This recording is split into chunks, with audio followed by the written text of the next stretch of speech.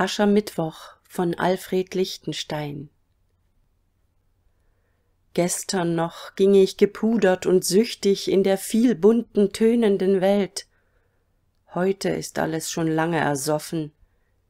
Hier ist ein Ding, dort ist ein Ding, etwas sieht so aus, etwas sieht anders aus.